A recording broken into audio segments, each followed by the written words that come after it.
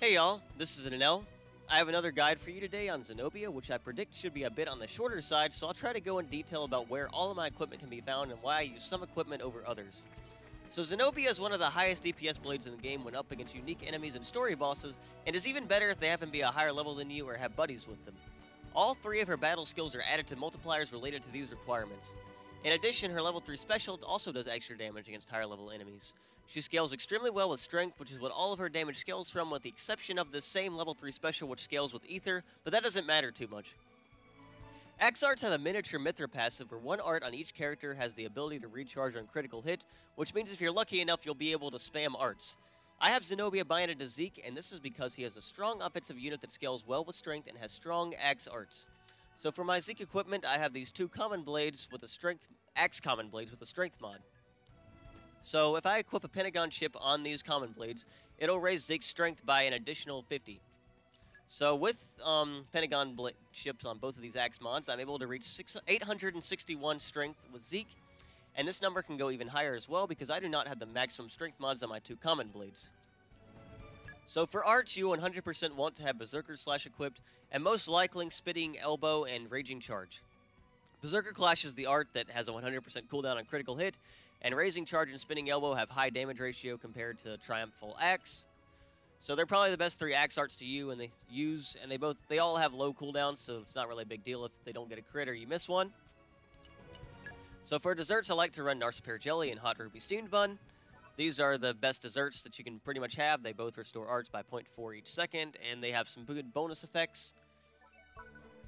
And for the accessories, I have the Avant-Garde medal, and this heals Zeke when he lands a critical hit and gives him a necessary form of self-sustenance.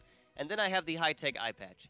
The eye patch can be dropped from the motorcycle unique monster in the world tree, and the medal can be dropped from his regular enemy buddies.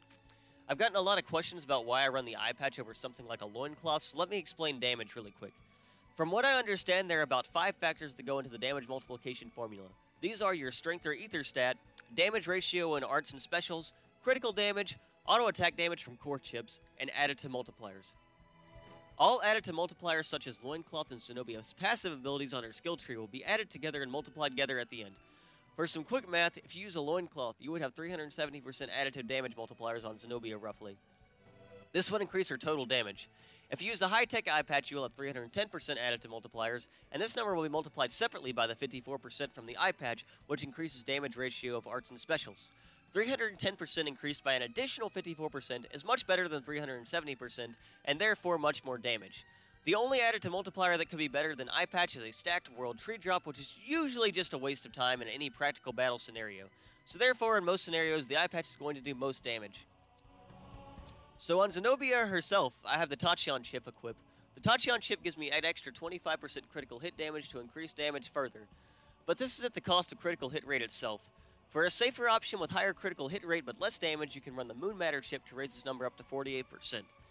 If she didn't have crit damage as her axe passive, I would say Moon Matter is far superior, but because of the strength of crit damage as another separate multiplier, Tachyon is a superior option for pure DPS and damage.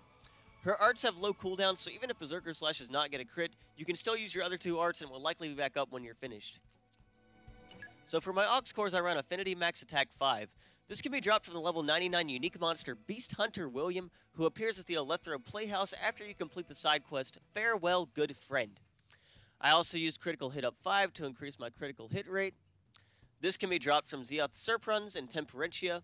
And for this video, I'm using Indoor Attack Up 5 since my fight will be indoors.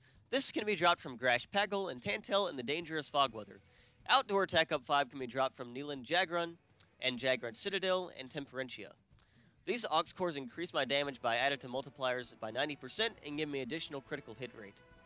So without further ado, I'm going to show off what she can do. I chose Douglas for this fight because he summons reinforcements which can increase her damage further. With this build, you'll be dishing out plenty of damage, among the highest, if not the highest in the game, and healing yourself with every hit. So let's see what I can do here. Give it all you've got! Show me what you got, Steve! So non-crits are doing about 70,000 damage there. And crits do about 100,000 almost. Timing's a little off here. I'm not used to using X. So every crit's gonna heal you up. You see I was at 700 health there and I still healed up. Which is nice. So now that his allies are here, I'm gonna um do even more damage to him. You saw that first hit was 200,000 damage there on that one arc. And if I used Raging Charge, it would be even more than that. Raging Charge can hit over 300,000 damage in this case. And I'm doing over 100,000 damage to him right now with Berserker Slash. So I'm going to end this fight now with my level 3 special. What was that, like less than a minute maybe? I guess I should go ahead and finish this dude off. We don't want him sticking around. So I don't do nearly as much damage to him because he's not a special enemy, but that's okay. He's level 82, he goes down fast. So yeah, I'd probably just enter that fight in less than a minute. I did over 100,000 damage with each hit. Um, Raging Charge can reach over 300,000 damage, and even more than that if the enemy is toppled. It's pretty ridiculous. Um, so, Zeke's axe arts are re really strong, like I said. And this spinning elbow can topple, and then you can ch chain that with Raging Charge to do extra damage to the toppled enemy if you have a person with Break in your party. He's. He's pretty good with um, Mythra on your team as well, since you'll have extra accuracy. Since his accuracy is not going to be the best in this case, only 330, which isn't bad. And Zenobia's level 3 special, despite being Ether, is still really nice. It hits multiple times. It has a bonus effect of doing extra damage.